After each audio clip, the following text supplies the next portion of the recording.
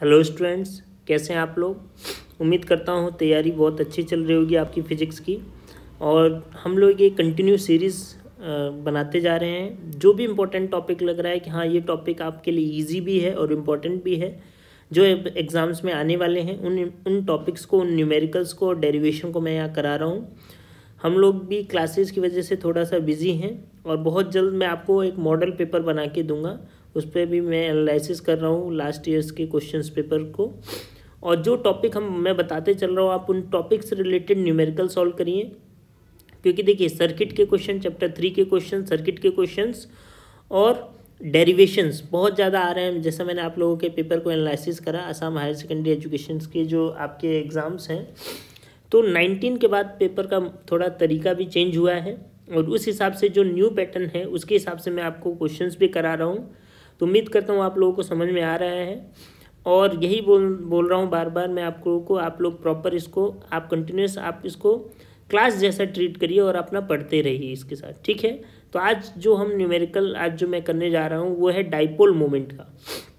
तो dipole moment से related कुछ ना कुछ एग्ज़ाम्स में हर साल आ रहा है, इसलिए मैं बार बार इस टॉपिक को आपको न्यूमेरिकल भी करके दिखा रहा हूँ एक।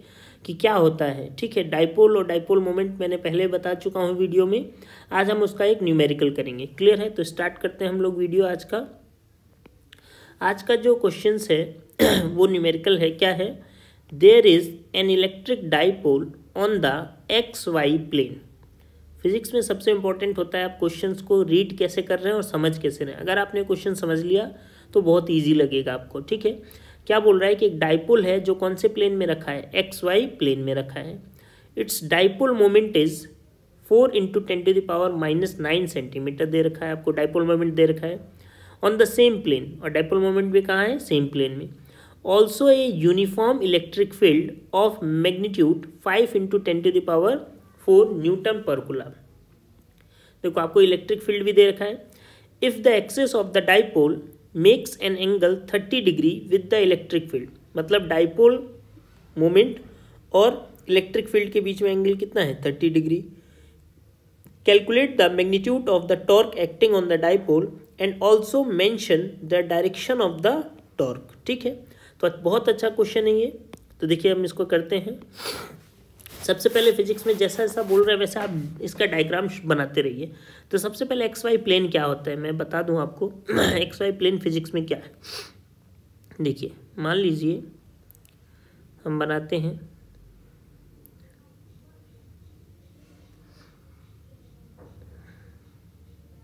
तो देखिए, क्या होता है फिजिक्स में? ये एक्स बोल दूँ, ये क्या बोल दिया जाए? वाई और ये क्या बोल दिया जाए? जेड तो क्या बोला है कि डाइपोल कहाँ पे रखा है? जैसे क्वेश्चन में बोला है कि डाइपोल कहाँ पे रखा है? एक्स वाई में। कहाँ पे रखा है? एक्स वाई ना? तो इसको करते हैं डाइपोल डाइपोल क्या होता था आपको पता है? डाइपोल एक्स वाई में रखा है, ठीक है? और आगे क्या बोल रहा है क्वेश्चन में? It's dipole moment moment is four into ten to the power minus four centimetre on the same plane there is also uniform electric field of magnetic field magnitude five into ten to the power four newton per coulomb electric field भी है। तो हम electric field बना दें यहाँ पे इसी plane में। इलेक्ट्रिक फ़ील्ड है। यूनिफॉर्म इलेक्ट्रिक फ़ील्ड ऐसे होती है, ठीक है? यूनिफॉर्म इलेक्ट्रिक फ़ील्ड है। ऐसे। इसी इसी प्लेन में तो हो गया हमारा इलेक्ट्रिक फ़ील्ड ये एक्स वाई प्लेन होता है एक्स और वाई का। इसमें डाइपोल रखा हुआ है। डाइपोल मोमेंट आपको डाइपोल मोमेंट पी से डिनोट करते हैं। कितना दे रखा है? Four into ten to the power four four into ten to the power four coulomb into metre coulomb into metre ठीक है? और इलेक्ट्रिक फ़ील्ड दे रखा है आपको इलेक्ट्रिक फ़ील्ड क्वेश्चन में दे रखा है, कितना दे रखा है? Five into ten to the power four newton per coulomb newton पर गुलाम ठीक है? और बोल रहा है इनके बीच में एंगल जो बन रहा है वो कितना बन रहा है? Thirty degree. अब कैसे रखा है डाइपोल डाइपोल ऐसे कुछ रखा होगा, एक एंगल पे रखा है। कैसे रखा है? एंगल पे ना? डाइपोल कैसे रखा है? एक एंगल पे रखा है, ठीक है? एंगल पे रखा है, मान लिया इसको ना? ठीक है, एंगल पे रखा है, हो जाएगा। डायग्राम को थोड़ा और अच्छे से बना दें हम लोग। ये डाइपोल हो गया, मान लीजिए। यहाँ पे मैं मान लूँ, माइनस चार्ज है और यहाँ पे मान लिया जाए क्या? पॉजिटिव चार्ज है। तो डाइपोल मोमेंट जो होता था, वो कौन सी डायरेक्शन में होता है हमेशा? नेगेटिव टू पॉजिटिव हमने पढ़ा था। डाइपोल मोमेंट कैसा होता है? नेगेटिव टू पॉजिटिव होता है, ठीक है? इस डायरेक्शन में डाइपोल मोमेंट है और इलेक्ट्रिक फ़ील्ड के साथ कितना एंगल बना रहा है? तो यहाँ पे ये जो डाइपोल मोमेंट जैसा ही बिहेव कर रहा है और कितना एंगल बन रहा है? थर्टी डिग्री ना? तो टॉर्क पूछा है यहाँ पे टॉर्क लगेगा सिंपल सी बात है। कितना टॉर्क लगेगा? तो टॉर्क का फॉर्मूला क्या होता था? मैंने डिराइव करा है इसको, आप वीडियोज़ में देख सकते हैं हम लोग के, मेरे प्लेलिस्ट में। टॉर्क का जो फॉर्मूला होता था मैग्नीट्यूड की फॉर्म में, वो कितना होता था? पी ई साइन थीटा कितना होता है? पी ई साइन थीटा ना? पी क्या होता है? डाइपोल मोमेंट जो डाइपोल मोमेंट हमको क्वेश्चन में गिवन है four into ten to the power four बस वैल्यू पुट करनी है आपको। Four into ten to the power four electric field दे रखा है five into ten to the power four और साइन थीटा एंगल कितना बन रहा है उसके बीच में? थर्टी डिग्री ना? तो टॉर्क कितना? फाइव फोर जा twenty into ten to the power कितना हो जाएगा? फोर इन फोर और फोर मिलके कितना हो जाएँगे? एट और साइन थर्टी की वैल्यू कितनी होती है? वन बाई टू तो इसको सॉल्व करें तो टॉर्क जो है कितना मिल जाएगा? टू से ट्वेंटी कैंसिल होगा, कितना आ जाएगा? Ten into ten to the power eight या मैं क्या बोल सकता हूँ? डायरेक्ट इसको टेन की पावर नाइन टेन की पावर नाइन और यूनिट क्या हो जाएगी? देखो डाइपोल मोमेंट की। इसके क्या क्या था? गुलाम इंटू मीटर और इसका क्या था? न्यूटन पर गुलाम तो ये कैंसिल डाइपोल मोमेंट क्या हो जाएगा? Ten to the power nine newton into metre ये आंसर हो जाएगा हमारा. क्लियर है? अब इसमें हमको ये जो क्वेश्चन थ्री मार्क्स का आया था आपके 2019 के एग्ज़ाम में ना? तो ये टू एंड हाफ़ मार्क्स का तो यहाँ हो गया. अब इसमें लास्ट में क्वेश्चन पूछा है. देखिए. Also mention the direction of the torque आपको डायरेक्शन बताना है. डायरेक्शन किधर होगा?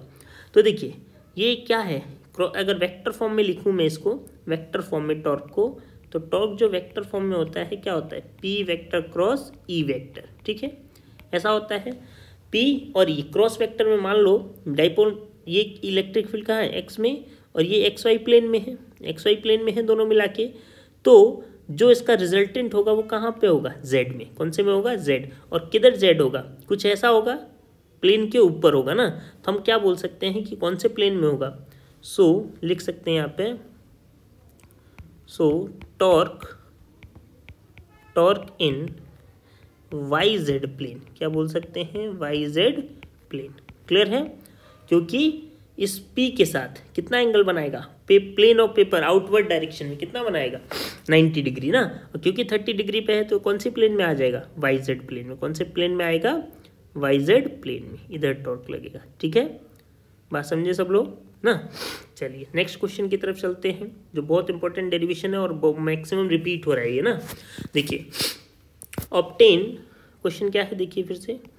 Obtain an expression for drift velocity of an electron in a conductor drift velocity obtain an expression for drift velocity of an electron in a conductor कि drift velocity का आपको relation expression show करना है ठीक है? तो क्या होता है सबसे पहले तो ड्रिफ्ट वेलोसिटी तो देखिए क्या होता है। यहाँ पे देखिए आप लोग।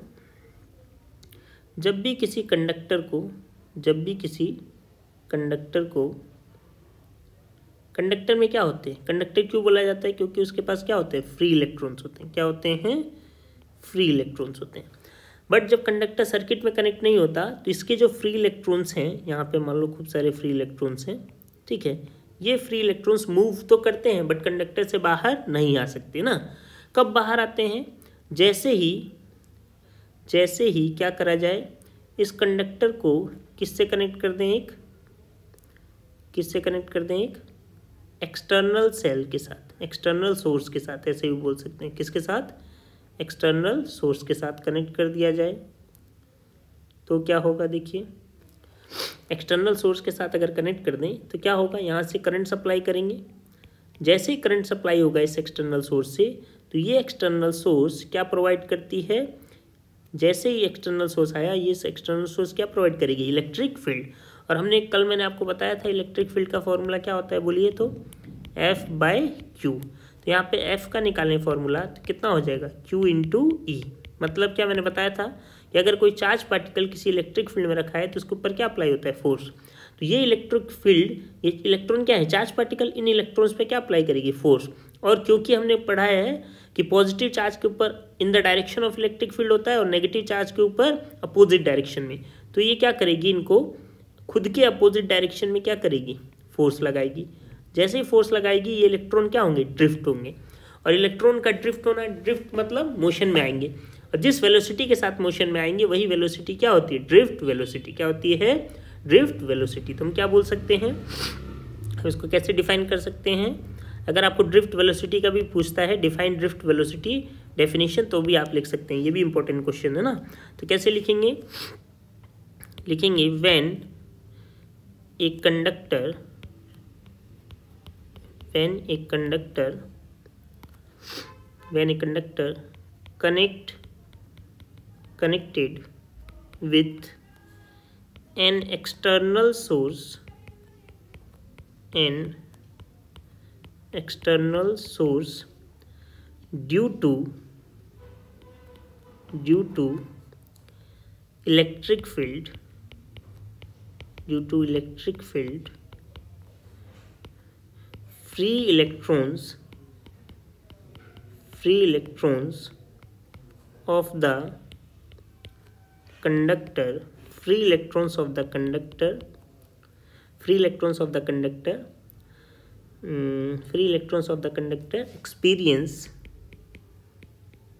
experience force हमको पता है कि वो फोर्स लगेगा एंड गेट ड्रिफ्टेड और क्या लिखेंगे and get and gets drifted drifted with a velocity with a velocity which is called which is called drift velocity क्या कहलाता है ड्रिफ्ट वेलोसिटी तो बहुत इंपॉर्टेंट टॉपिक है, ये भी अपने आप में आपसे ड्रिफ्ट वेलोसिटी पूछता है। फिर से मैं एक्सप्लेन कर रहा हूँ।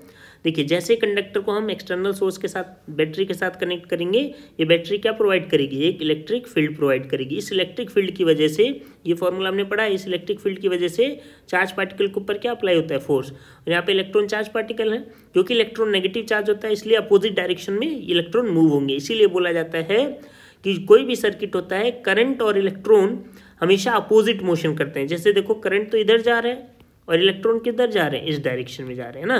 तो किसी भी सर्किट में इलेक्ट्रॉन और करंट का मोशन हमेशा क्या होता है? अपोजिट होता है, ठीक है? अब हमको इसका फॉर्मूला डिराइव करना है तो देखिए क्या? क्योंकि मोशन हो रहा है तो यहाँ पे मान लिया कंडक्टर की जो लेंथ है, कितनी है? एल कितनी है? एल ठीक है? तो देखिए क्या? फोर्स फोर्स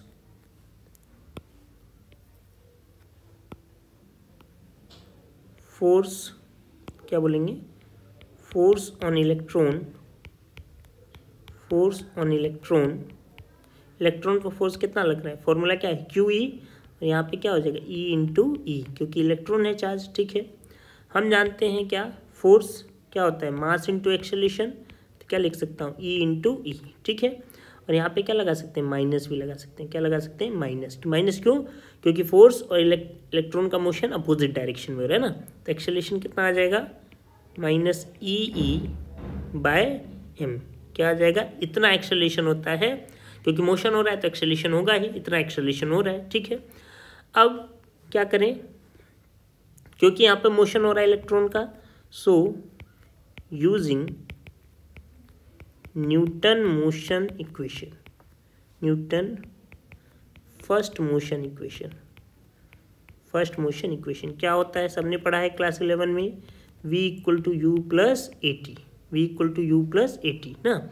V जो है फाइनल वेलोसिटी होता है और यहाँ पे फाइनल वेलोसिटी को क्या बोल रहे हैं? ड्रिफ्ट वेलोसिटी तो उसको वी डी से डिनोट करते हैं, ना?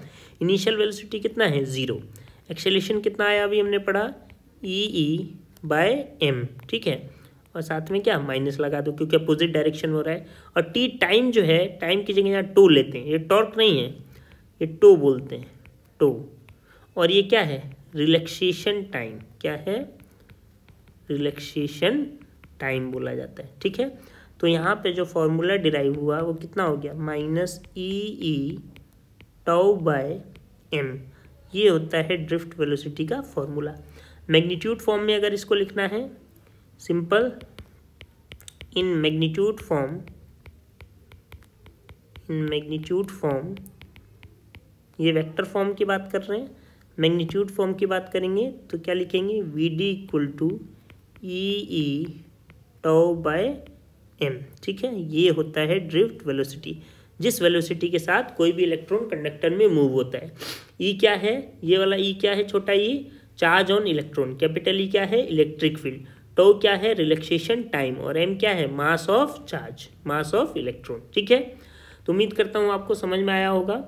और जैसा मैं बोल रहा हूँ, आप लोगों के लिए जल्दी ही मैं मॉडल पेपर लाने वाला हूँ। बट आप लोग एक रिक्वेस्ट है, आप प्लीज़ इसको सब्सक्राइब करा करिए चैनल को और लाइक ज़रूर करिए ना, ताकि हम लोग को भी मोटिवेशन मिलता रहे, ठीक है? Thank you